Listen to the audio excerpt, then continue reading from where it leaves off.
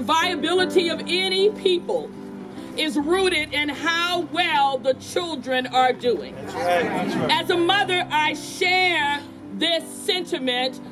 And so I ask you today, how are the children? Traci Blackmon has brought us the question, how are the children?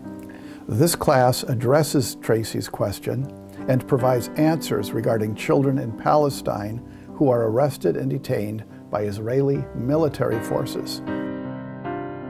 Today, we'll give you information about Israel's system of military arrest and detention of Palestinian children.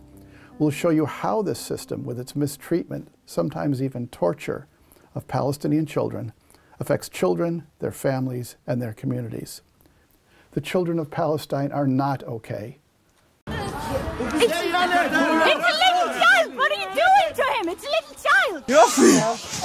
תן בו! תן יא בן זונה! תן! מי פחדן? מי פחדן? יא בן זונה! מי פחדן? יופי! טוב מאוד.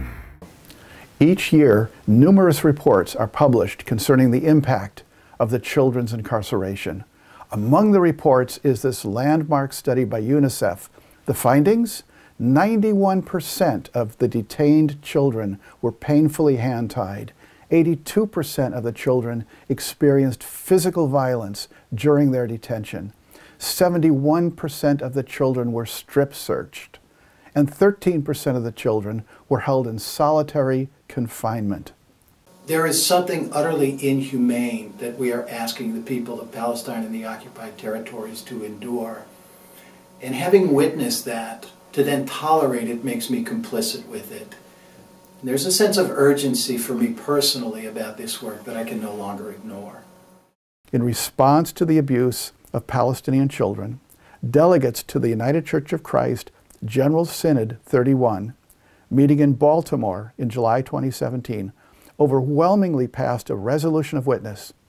This resolution highlights the traumatic situation of children living with constant fear of arrest, detention, and violence. The resolution also identifies specific actions to help bring an end to the human rights violations. As you consider next steps, know that we in the United Church of Christ are not alone in working for change. Awareness of Israel's mistreatment of Palestinian children is spreading rapidly among churches here in the United States and around the globe. Each of these churches at its national or international gathering has called for actions to help end the mistreatment of children. It is by working together that we keep that hope alive and that we work together for justice. The occupation is not eternal. It, did, it is not the will of God. It is a result of human actions. And therefore, human actions can reverse it, can end the occupation, and bring about justice. We in the United Church of Christ have a responsibility to be a part of that movement for justice.